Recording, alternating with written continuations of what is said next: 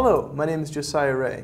I'm going to show you uh, briefly how to make a table, uh, rows, stay on the same page in Microsoft Word so that they don't break apart into separate pages. So here I am in Word. I've got a whole mess of placeholder text here. I'm going to zoom out though so that I can see sort of the whole page all by itself. And what I'm going to do is copy this text and paste it a couple of times just so that it fills out a couple pages. And right about here in the middle, we're going to go Insert, Table, and let's just pick, you know, a 4 by 4 or so. And I'm going to resize this a little bit bigger. And there you go.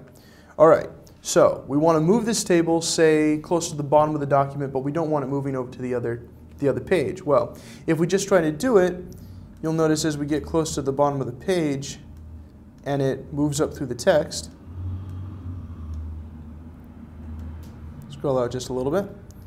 So we begin to void that buffer at the bottom or the margin at the bottom. It kicks part of the table over to the next page. And that's not exactly what we'd like to have happen. So I'm going to undo that, push the undo button. And with the entire table selected, we're going to go to Layout, Properties. And so if we go over to the uh, Row tab here, we we see that this says Allow Row to break across pages. So if we uncheck this, supposedly, it won't allow the table to break the rows across multiple pages. So let's say OK and test that out. Move down to the margin again, and it splits it again. So that didn't exactly work. There's a couple different ways of trying to go about this. Personally, I haven't found one that's really foolproof that's going to let you void the margin and it kind of just snaps it back up top. There's one other way. If we undo this, if you've got multiple rows or multiple objects of any kind, and you don't want them to break apart, you're supposed to be able to select all but the bottom one and tell it underneath the paragraph area, don't let these break apart basically. So let's grab that table. I'm going to split it up a little bit more just to demonstrate that. So let's, uh, instead of rows being two, let's say three rows. And I'm happy with two columns.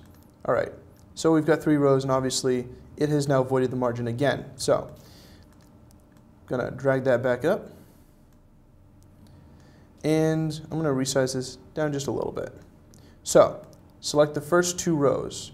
We're going to go to the Home tab, click on this little arrow next to Paragraph, and underneath Line and Page Breaks, we want keep with next. So each row it's going to try to keep with the next row, and that row it's going to try to keep with the next row, etc. So let's see if that works. Say OK. I'm going to drag this down and avoid the page margin again and it breaks it apart again. And it's really kind of doing a pretty horrific job mangling our page. So we're going to undo that. Basically, if we click off the table, you can see these little blue tabs at the top and the bottom. Those are your page margins. You can't move the table beyond the page margins. If you do, bad things happen. And there's no real way that I can find to prevent that from happening. So the best way is to just not do it. So if we grab the, the table now, and we use the words at the bottom as a guide. So let's zoom in a little bit. We'll scroll down. Let's use the words at the bottom as a guide. Let's get it close, that dashed line close, but not go over. So a little bit further. I know it's, it's kind of like diffusing a bomb here. And there you go. And so if we zoom back out, our table is now pretty much lined up right with the, the bottom margin, but it hasn't broken onto the next page. So unfortunately, it's a little bit tedious, but that's really the only way to keep your table from breaking apart onto multiple pages, is to just keep an eye on your margins and make sure you don't go over them.